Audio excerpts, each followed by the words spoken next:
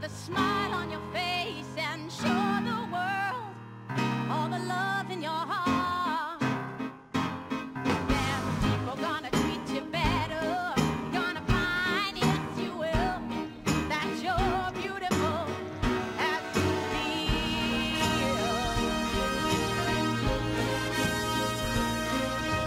I have often asked myself the reason for the sadness in the world tears are